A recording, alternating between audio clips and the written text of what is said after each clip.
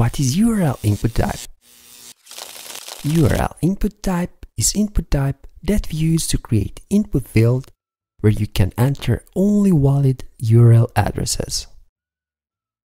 Valid URL addresses are all addresses that starts with http colon slash slash or https colon slash slash.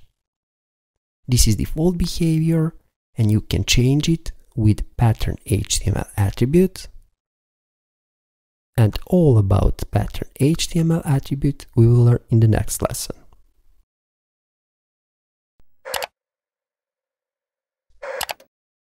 Okay, let's create one more input element. Let's define type HTML attribute and name HTML attribute. For type for this one, let's set URL. Like name, let's set URL field. And let's set label for this input field. Okay, let's create some new ones after this input field and let's save our changes. Okay, when we refresh our page, now we can see we have URL field. And if we enter values in non-mandatory fields, email and tel, and try to submit our form, we can submit our HTML form to our data processing action script that we set for our HTML form. But what if we set required HTML attribute on our URL? So let's set it here. Now user need to enter some value in this field. So if we refresh our page, let's enter mandatory values here.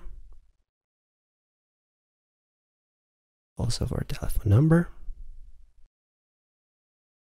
And when we try to submit, now we have please fill out this field so we need to enter something. But if you enter anything, you will get please enter URL address. By default, URL address is every address that starts with HTTP colon slash slash. So when we try to submit this, we can submit this to our data processing PHP script. Or if we try to submit HTTPS colon slash slash, Let's try this. Once again, we are able to submit our HTML form. But if we set something like SS and try to submit, as you can see, our HTML form doesn't recognize that we have two S in our HTTPS. So basically, anything that starts with HTTP or HTTPS will be valid URL address. Anything else? Let's try to remove HTTPSS. We'll get for us validation error. This is how URL input element works. Thanks for watching this tutorial and I hope this was helpful to you. If you like our work, please become our Patreon or simply donate our PayPal. Please remember, even a little from you means a lot for us.